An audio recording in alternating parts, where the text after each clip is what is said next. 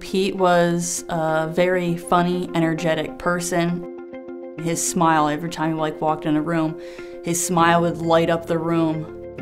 And he loved spending time with us and just being in the moment. My name is Christina Taub, and we're honoring Staff Sergeant Peter W. Taub from the United States Air Force.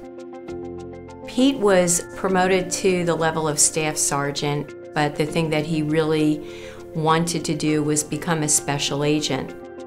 In the Air Force, Pete was part of the Office of Special Investigations. He deployed in October of 2015.